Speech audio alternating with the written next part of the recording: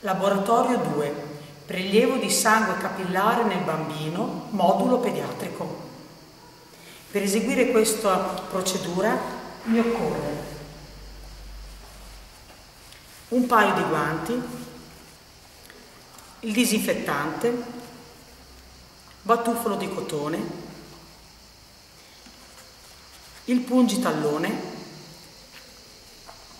la provetta e il cerotto. Per fare eh, questa procedura al bambino possiamo mettere un succhiotto o altrimenti attaccarlo al seno materno.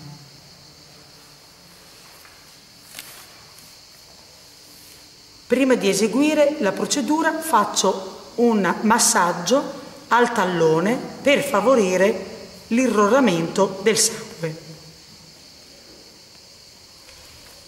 Metto i guanti.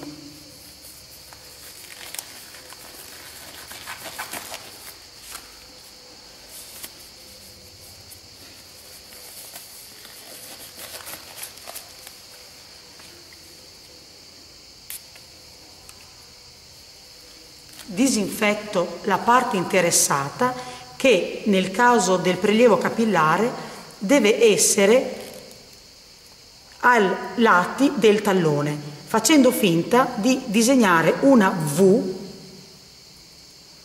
e quindi pungere ai lati di questa ipotetica V.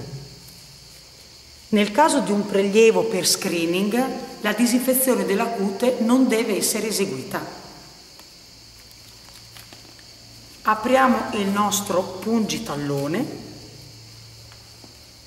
la nostra microprovetta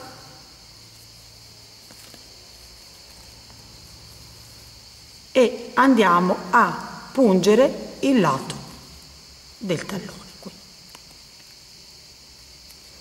A questo punto, con il palmo della nostra mano, facciamo una spremetura dall'alto verso il basso facendo in modo di far defluire la goccia nella microprovetta.